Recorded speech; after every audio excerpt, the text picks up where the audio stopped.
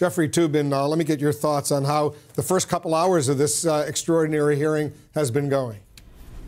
Well, he, uh, Barr sure didn't establish that he told the truth when he answered the question about whether Mueller objected to anything he said. I mean, you know, I have to say, I found his answers total gobbledygook about that. I mean, you know, the, the fact is, Mueller wrote a letter of protest.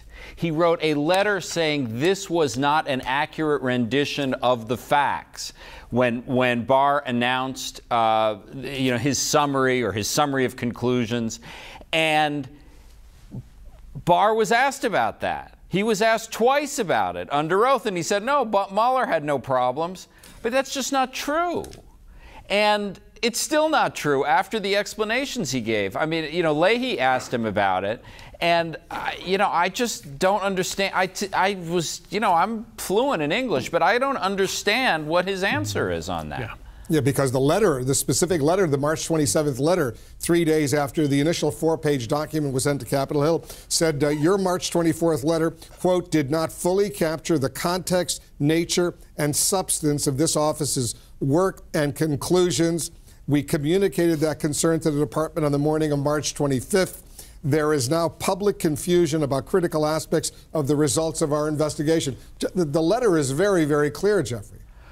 Well, and after and and when he's confronted with his you know his response to Congressman Crist, he says, "Well, I talked to Bob Mueller, and he had no problem, uh, but he obviously did have a problem. I mean, Jeffrey, he put it in writing." Jeffrey, let me ask you a question. Um, uh, Attorney General Barr said that he took this letter to mean uh, an attorney coming after the case after the verdict. Again, he said his four-page summary letter or four-page document letter uh, was not a summary. It was just underlying the verdict. And he said it would be like an attorney saying after the verdict came in, you didn't get in my great cross-examination on day three. That was, I think, a pretty direct quote of what he said. Does that pass the smell test? Is that what Mueller was objecting to?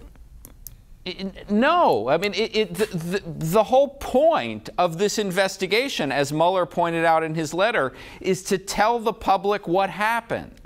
The, the whole idea behind a special counsel investigation, as opposed to one under the auspices of the Attorney General directly is so the public can have confidence in the conclusions, so that there is a measure of independence, not total independence, but a measure of independence. And so this isn't about the wonderful cross examination that Bob Mueller did three weeks ago. This is about the fundamental conclusion. And look, this is also about politics. That letter that four page letter stood out there for a month, shaping all the public discourse about uh, the, the, the Mueller report, convincing much of the country that there's nothing here. And that's why Mueller was so upset about it, because it was a misleading summary. And then for Barr to tell Congress that Mueller had no objections is just not true.